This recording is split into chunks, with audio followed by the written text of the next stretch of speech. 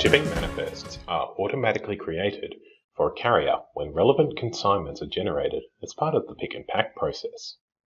In addition to submitting your manifest electronically, most shipping carriers will require a printed copy of the manifest to be provided when the goods are picked up. From the Neto dashboard, navigate to Shipping and select Shipping Manifests. Select the manifest you wish to submit, and you can print and submit the manifest from this screen.